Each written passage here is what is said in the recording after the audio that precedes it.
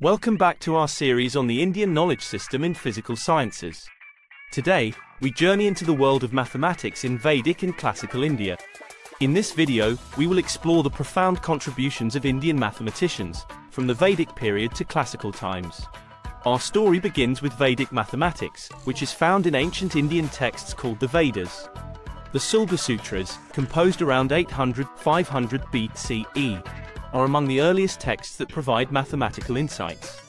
These texts were primarily concerned with the construction of altars and geometric shapes, demonstrating a sophisticated understanding of geometry. The Sulba Sutras contain detailed instructions for creating right angles, squares, and other geometric figures, showcasing the practical application of mathematics in ritual and architecture. One of the most revolutionary contributions of ancient Indian mathematics is the concept of zero.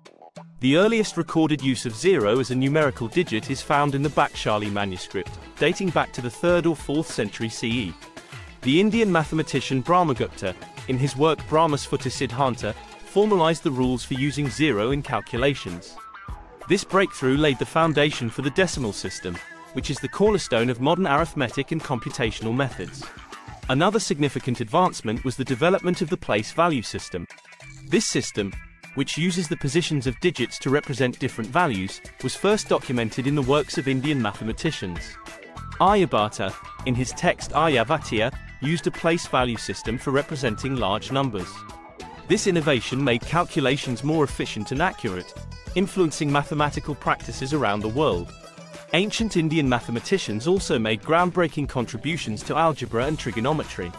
Aryabhata is credited with the development of early trigonometric functions, including sine and cosine, which were used for astronomical calculations. Bhaskara II, a 12th century mathematician, authored the Siddhanta Shiromani, which contains detailed solutions to quadratic, cubic, and quartic equations. His work on algebraic equations and their solutions significantly advanced the field of algebra. The calculation of the value of pi and the development of infinite series were also areas where Indian mathematicians excelled. The value of pi was approximated with remarkable accuracy by mathematicians like Madhava of Sangamagrama, who is often regarded as the founder of the Kerala School of Mathematics. This school developed advanced techniques for calculus, including the use of infinite series to calculate trigonometric functions and pi, the contributions of Vedic and classical Indian mathematicians have had a lasting impact on mathematics and science. Their innovations in geometry, algebra, trigonometry, and calculus paved the way for future advancements in these fields.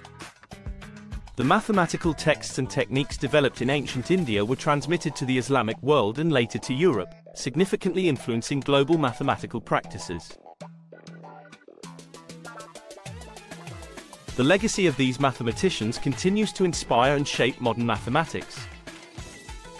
To summarize, the rich tradition of mathematics in Vedic and classical India has given the world some of its most fundamental concepts and techniques.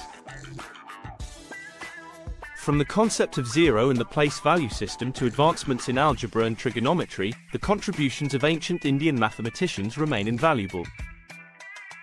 Thank you for watching. Don't forget to like, share, and subscribe for more fascinating insights into the Indian knowledge system in physical sciences. Leave your thoughts or questions in the comments below, and let us know what topics you'd like to see covered in future videos. Welcome back to our series. Welcome back to our series on the Indian knowledge system in physical sciences.